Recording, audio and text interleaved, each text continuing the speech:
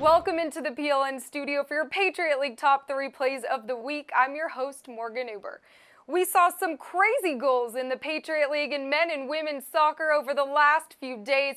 We're talking dogs and cats living together crazy.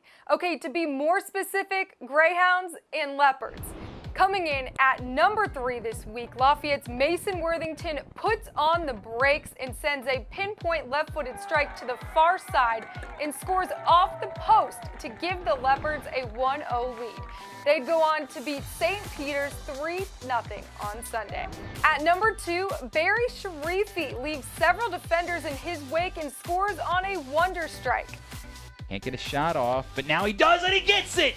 Oh, Barry Sharifi! How pretty was that? Do not give that man a yard. Do not. I don't think he was facing the goal, Jamie Watson. I think he was facing the sideline as he released that shot.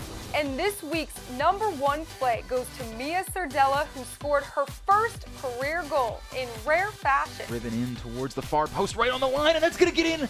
Was that only off the corner? I Did anybody touch that? I don't believe anybody touched that Sardella with Holy an amazing smokes. service. I cannot believe the bend on that ball. We have one bonus play for you this week, and you have to go check it out on Twitter. Bucknell and NJIT combined for a volley that lasted a minute and four seconds.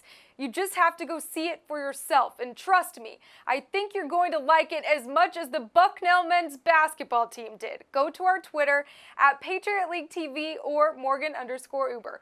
While you're there, let us know what you think. We'll see you back here next week for Patriot League Top 3 Plays.